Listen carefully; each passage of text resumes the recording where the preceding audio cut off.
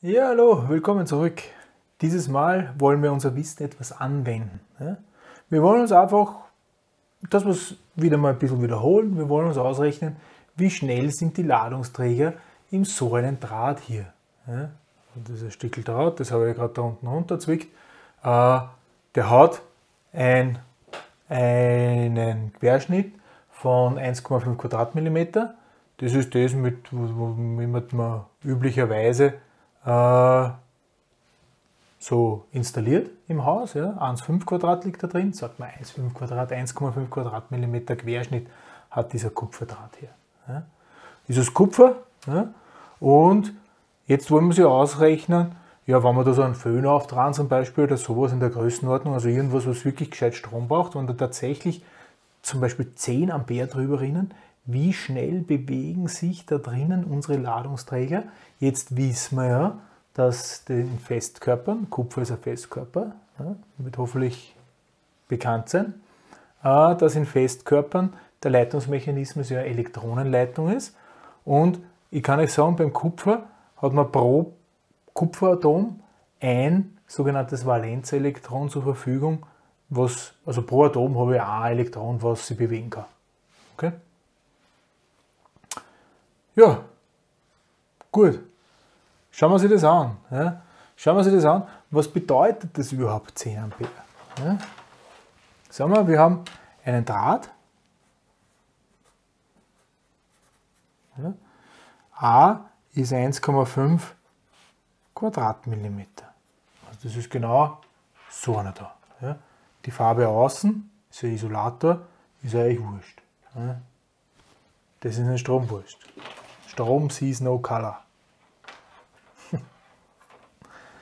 1,5 Quadratmillimeter. Ja, und wir haben einen Strom I, der soll sein 10 Ampere. Was bedeutet das jetzt, dieses 10 Ampere? Ja, also, wenn, das, wenn der Strom I 10 Ampere ist, ja, wie viel Coulomb pro Sekunde rinnen da? Das heißt, es rinnen 10 Coulomb pro Sekunde. Das ist ja das Gleiche. Ja? Haben wir mal gehört. Ja? Also Strom ist bewegte Ladungsträger, es rinnen 10 Coulomb pro Sekunde. Und hoffentlich kann sich der eine, die andere auch noch daran erinnern, welche Ladung ein so ein Elektron beiträgt. Das war nämlich die sogenannte Elementarladung. Gell? Ein Elektron hat minus 1,602 mal 10 hoch minus 19 Coulomb. Ja? Wie viele Elektronen müssen da also durchrennen? Ja? Das sind 10 Coulomb pro Sekunde dividiert durch minus 1,602 mal 10 hoch minus 19 Coulomb. Ja? Was kommt da außer? Irgendwo meinen Taschenrechner finde. Habe ich gerade in der Hand gehabt. Da liegt er. Liegt eh da. Was kommt da raus? Schauen wir uns das an. Also 10 dividiert durch 1,602 mal 10 hoch minus 19. Ja. Ungefähr 6,2422 mal 10 hoch 19 pro Sekunde kommt das. Also Ladungen, Elementarteilchen pro Sekunde. Ja, das klingt schon mal gut. Das klingt schon mal wirklich, wirklich viel. Eigentlich Minus, weil sie in die andere Richtung zischen. Deswegen kommt das Vorzeichen. Ist aber eigentlich egal, weil ob das in die Richtung bewegt oder in die Richtung bewegt, hat für die Gesamtgeschwindigkeit ja keine Aussage. Ja, nur die Richtung. Also minus 6,2422 mal 10 hoch 19 Elektronen pro Sekunde pfeifen da durch diesen Querschnitt durch. Ist das nicht der Wahnsinn? Ja? Also das sind 6 und dann 19 Nuller nur da. Ja? So viel Geld hat keiner. Ja? So schnell, so viele rocken da durch. Aber jetzt die große Frage, Ja, wie viel sind leicht drin? Ne? Wie viel sind leicht auf so einem Quadrat, auf die 1,5 Quadratzentimeter? Wir haben einmal gehört, es sind ungefähr 10 hoch 23 Atome oder freie Ladungsträger pro Kubikzentimeter. Das habe ich mir einfach so behauptet.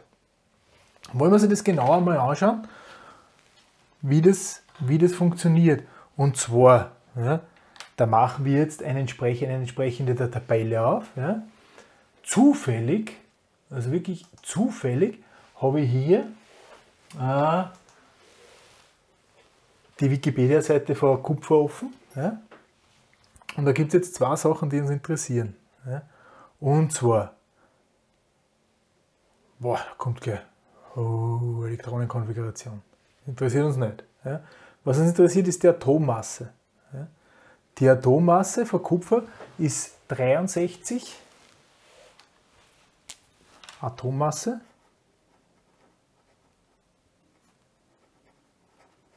Ich schreibe das da daneben ein bisschen auf. 63,546 ja, ist die Atommasse. Und da unten steht auch noch was von Dichte. Da haben wir die Dichte. Gell? Und die Dichte ist Rho, Dichte, 8,92 Gramm pro Kubikzentimeter. Ja. Und jetzt schaut man wieder zurück auf, auf, auf das, was ich da gerade abgeschrieben habe. Ja, also sehen, wir verwenden jetzt einfach Werte, die wir in Tabellen, in bekannten Tabellen finden. Ja. So, jetzt habe ich das da aufgeschrieben. 6,3546, was heißt das eigentlich? Das sind Gramm pro Mol. Kann man zumindest so interpretieren. Ne? Es sind eigentlich Maß, atomare Masseneinheiten, aber das ist zufällig das gleiche Gramm pro Mol. Ja? Also ein Mol von Kupfer hat 63,546 Gramm. Was ist ein Mol? Ja? Jetzt sind wir schon in der Physik ziemlich. Da sieht man mal, wie unsinnig das ist, wenn man so scharfe Grenzen zwischen. Das ist ja nicht Elektrotechnik, das ist ja, das ist ja Chemie. Ja?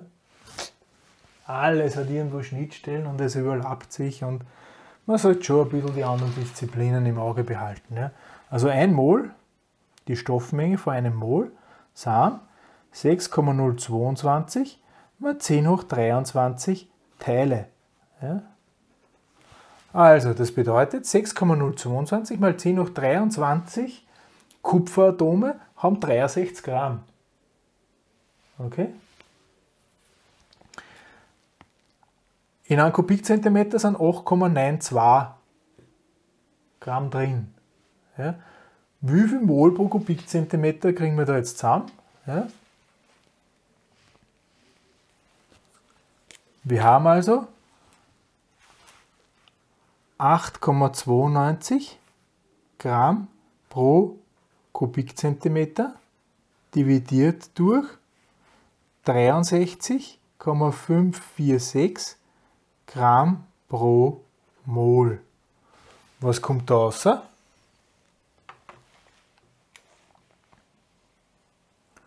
8,92 dividiert durch 63,546.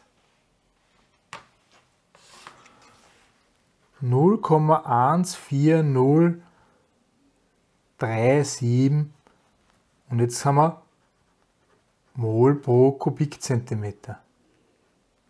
Okay? So viel Teilchen, so viel Mol pro Kubikzentimeter haben wir. Und jetzt multiplizieren wir das noch mit der Avogadro-Konstante. Das heißt, das sind 6, das heißt Avogadro-Konstante. 6,022 mal 10 hoch 23 Teilchen ja, mal 0,14037. Ja. Und jetzt haben wir Atome pro Kubikzentimeter. Okay? Also das mal 6,022 mal 10 hoch 23 ergibt 8,453 mal 10 hoch 22 Atome pro Kubikzentimeter. Okay? Das sind also Atome pro Kubikzentimeter. Äh, so und so viele Atome pro Sekunde müssen da müssen durchrennen. Ja? Wie viel Kubikzentimeter rinnen da durch? Weil jedes Atom hat ein Elektron. Ja? Also so und so viele Elektronen pro Sekunde müssen durchrennen, so und so viele Elektronen oder Atome, Teilchen pro Kubikzentimeter habe ich zur Verfügung. Das heißt, wie viele Kubikzentimeter sind das? Ja? Das heißt, das sind äh, minus 6,2422 mal 10 hoch 19 Elektronen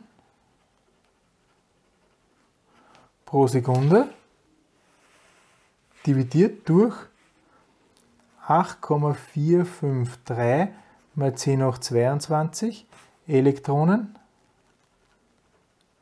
pro Kubikzentimeter. Das habe ich daher, das habe ich daher. Was kommt da raus?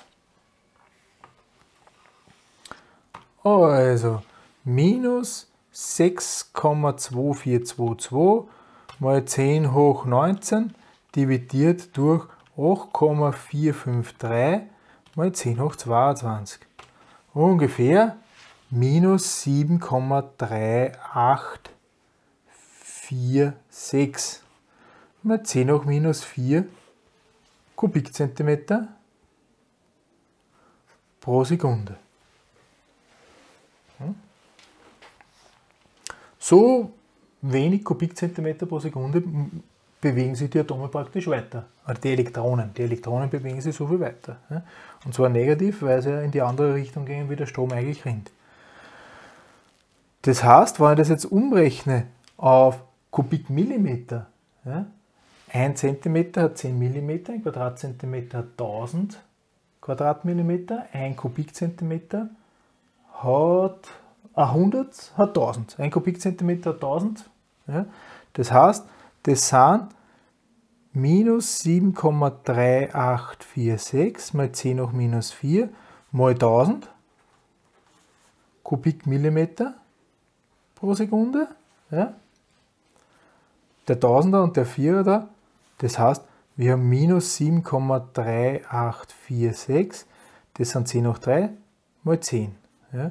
Das heißt, 10 hoch minus 1. Das heißt, minus 0,7384 Kubikmillimeter pro Sekunde.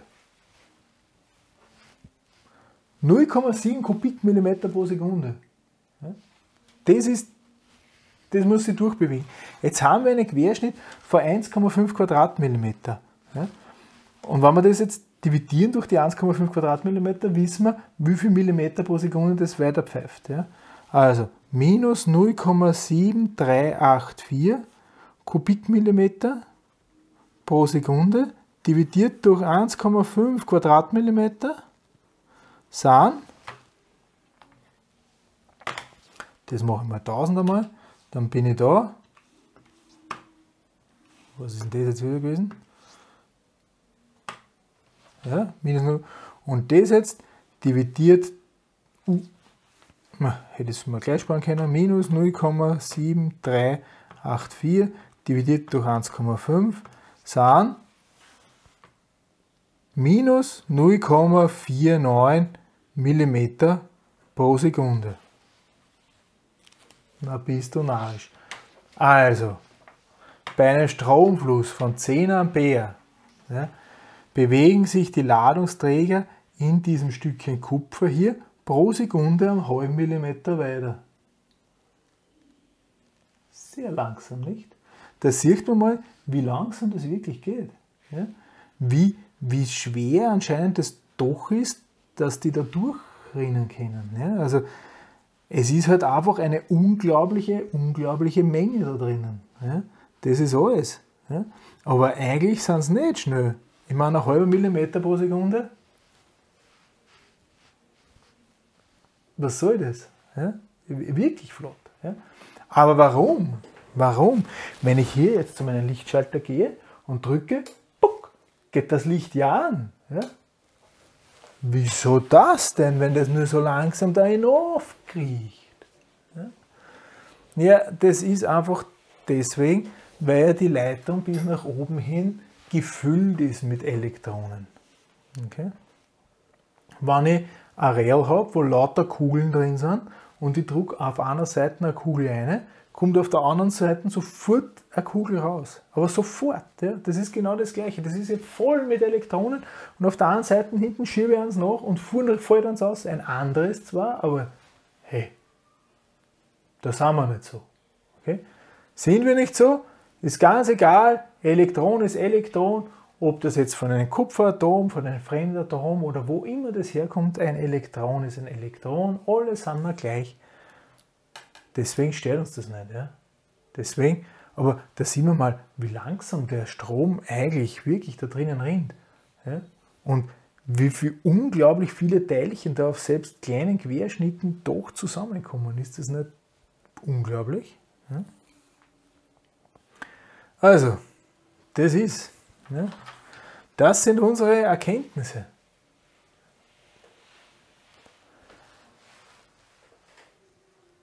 So, äh, nächste Mal. Das nächste Mal sprechen wir dann über Leistung und Arbeit. Ja. Das nächste Mal werden wir sehen, dass sobald sich was bewegt und da ist eine Kraft involviert und es bewegt sich irgendwas, ja, Kraft mal Weg ist Arbeit. Ja. Das heißt, unser Strom, wenn sich der da drin bewegt, der leistet Arbeit. Ja. Das spüren wir ja, es wird hell und so weiter, ne, wenn ich auftrage. Es wird heiß, wenn ich Föhn auftrage. Es wird laut, wenn ich Lautsprecher auf. Das ist ja nicht umsonst, ne? es kommt die Arbeit. Und wie und wie sich diese Arbeit zusammensetzt oder wie das kommt, das werden wir in diesen nächsten Videos uns anschauen. Ne? Für dieses Mal mit dieser Anwendung, ich hoffe, dass man mir folgen hat können. Ja? Aber zumindest war es ein hoffentlich Aha-Erlebnis, dass das so langsam da drin funktioniert. In diesem Sinne, vielen Dank für die Aufmerksamkeit. Wiedersehen.